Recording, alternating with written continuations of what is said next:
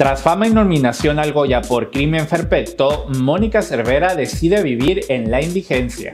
La vida de la actriz española Mónica Cervera de 48 años de edad ha cambiado por completo, pues tras haber tenido fama, dinero y una nominación al Goya como mejor actriz revelación por su papel en la película Crimen Perfecto, vive en la indigencia. Mónica Cervera vive en un parque de Marbella, España, lo dan a conocer varios medios de comunicación y se muestra renuente a hablar de su trabajo en los escenarios. No quiero que me nombren la palabra televisión ni cine, estuve ahí en su día pero no quiero volver nunca, citó Mónica Cervera en entrevista para la revista Semana. Mónica Cervera, quien ha participado también en la serie Manos a la Obra, dice que prefiere vivir así, sin rendir cuentas a nadie y pide comprensión y respeto para la decisión que ha tomado. Me tienen que respetar, quiero que me dejen en paz y vivir como yo he elegido vivir. La actriz menciona que no necesita absolutamente a y se puso en contacto con Bienestar Social para que sus condiciones de vida puedan mejorar, recalca. Tengo cita con ellos el 25 de enero, lo único que quiero es que me den una estabilidad. Cervera ha participado en series como La que se avecina